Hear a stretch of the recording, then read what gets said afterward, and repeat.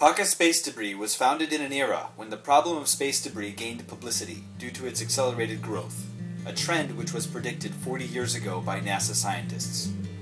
PACA Space Debris aims to mitigate this increasing threat by the active removal of space debris using a network of ground-based lasers. As you can see, the space debris is now passing over Oaxaca, Mexico, and Lake Elsinore, California. It is being decelerated by laser beamers at both sites.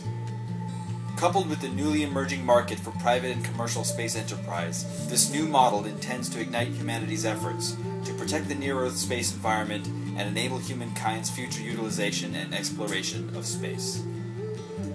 Our company is based on the philosophy that simplicity, reduced cost, and reliability can go hand in hand.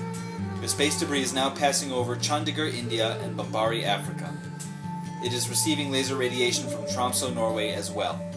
By eliminating the traditional layers of management internally and subcontractors externally, we reduce our costs while speeding decision making and delivery. By keeping the vast majority of engineering in-house, we reduce our costs, keep tighter control of quality, and ensure a tight feedback loop between the design and manufacturing teams. The space debris is now passing over Argentina, Oaxaca, and Lake Elsinore sites. It is receiving laser radiation from a beamer site in Anchorage, Alaska, and then traverses the Pacific Ocean to be decelerated by the laser at the South Pacific site. By focusing on simple, proven designs with a primary focus on robustness and reliability, we reduce costs associated with complex systems operating at the margin. The space debris is now passing over Chandigarh, India, Bari, Africa, and Tromsø, Norway.